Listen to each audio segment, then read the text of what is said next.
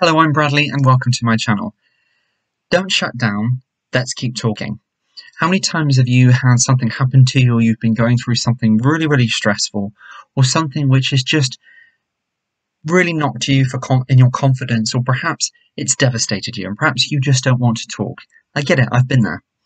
But the one thing from being in the lowest place of my life ever after losing somebody very, very dear to me, the one thing which kept me going is to keep talking. And if you can't talk at that moment in time, don't leave it too long before you choose to speak to somebody. Whether that be your parents, perhaps you're a little bit older and your parents are a little bit older, and perhaps you don't want to burden them or feel like you're burdening them, and that's what I want to mention as well. It is never ever a burden to anybody who you choose to talk to. It will always actually make that person feel very privileged that you've actually, of all the people you could speak to, you've chosen them. Now, for me, my go-to people who I talk to is my mum and my dad, and it was my nan.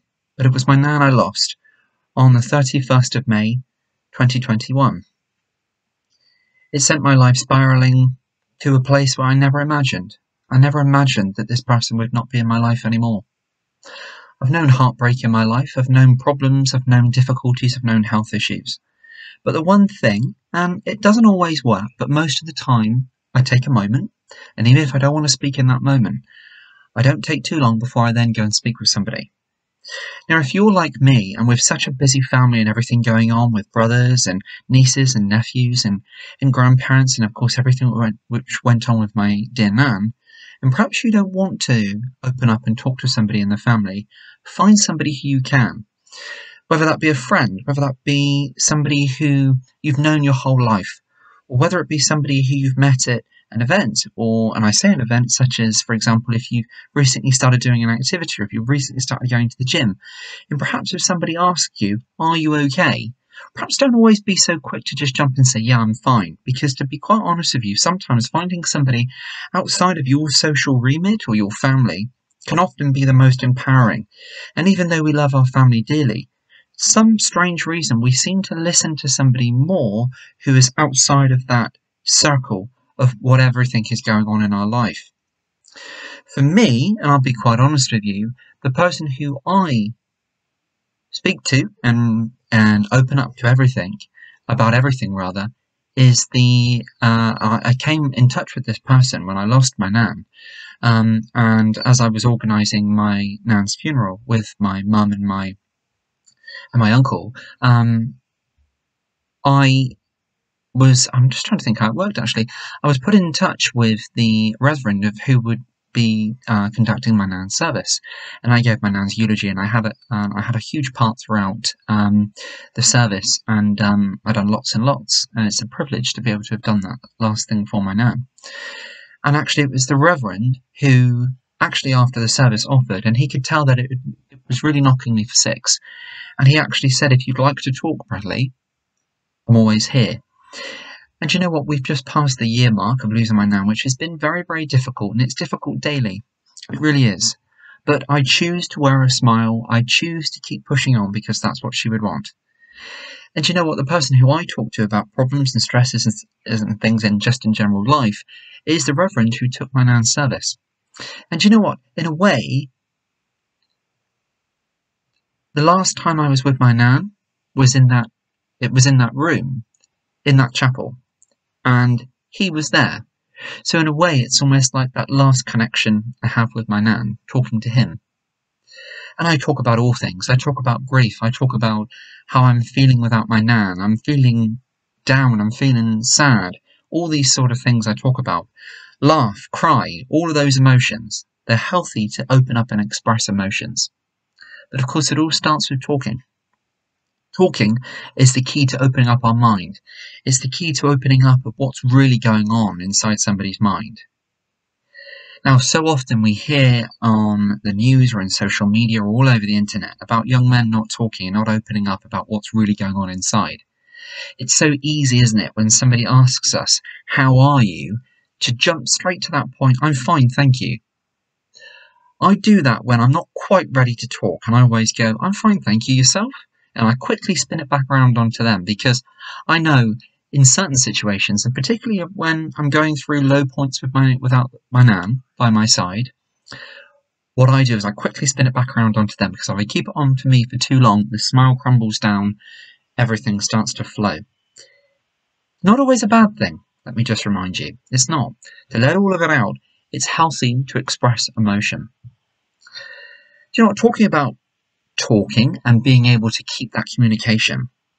I know it's so easy to shut down in the moment. When something bad happens in life, our automatic response is either sometimes we go off, sometimes people can go off the rail and they can do all sorts of bizarre things and all sorts of things, which of course is not great. But people do what they do to get through that moment in time. Doesn't mean that you can justify anything bad happening, of course not. But sometimes we have to air a thought of what they've gone through as well. The other end of the spectrum, when something bad happens, somebody just shuts down.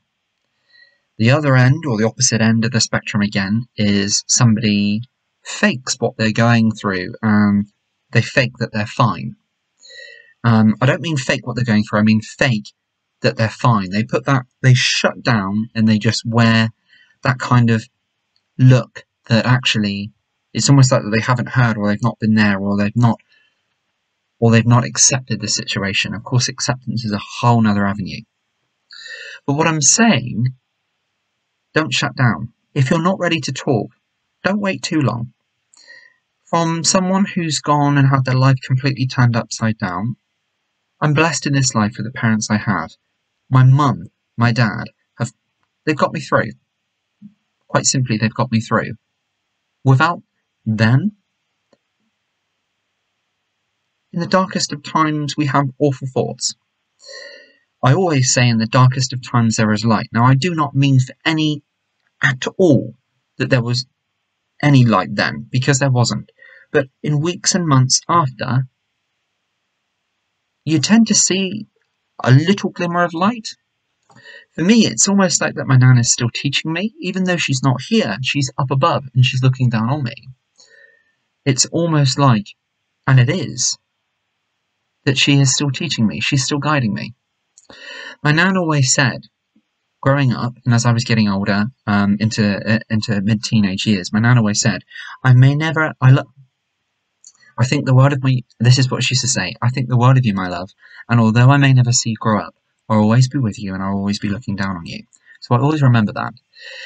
And then when I talk with the Reverend, it almost kind of affirms that, and it almost it, it well it does. It brings it all together and it's there. So i know she's still teaching me. I know that guidance is there. But of course we have to talk. In that example then i'm talking to the reverend. I'm talking to my mum. I'm talking to my dad. I've got brothers but if you're anything like me with brothers i like to keep almost a stern character. Yeah it's fun. It's having a laugh and a joke. But i never really open up in emotions. I never really talk I take kind of almost like the natural role of sorting out everybody and making sure they're okay and helping and guiding and in sort of supporting and helping one thing and another, which I love that natural role. I absolutely do. But sometimes we all need that helping hand. So never ever shut down. Keep talking. Let's keep talking. We all have our good days and we certainly all have our bad days. And like I say, if you're not ready to talk right now, that's fine. Don't shut down though. Let's keep talking. Take a moment.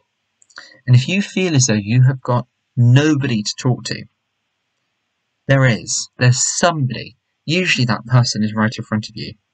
And you know what? Even if you've got to do a search, and there are talking groups and things probably in your local community, literally do something simple by doing a Google search, and you will find so much.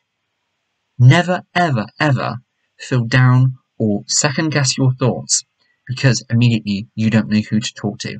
There are so many charities out there. There are so many people out there who want to help and listen. But do you know what? Before you get there, there is probably somebody not that far away from you, whether it be family or a friend, who would want to help you if they truly knew how you were feeling.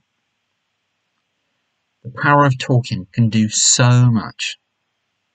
Don't shut down let's keep talking. Thank you so much for sharing this with me. It really does mean a lot to share something so close and so dear to my heart. I wish you the greatest, best wishes through whatever you're going through. My love and support, even though you may never ever meet me, it's right here and it's for you. Take great care. Know that somebody out there is thinking of you and hoping that you pull strength and you get through what you're going through. Take great care. I'll be seeing you real soon. Bye for now.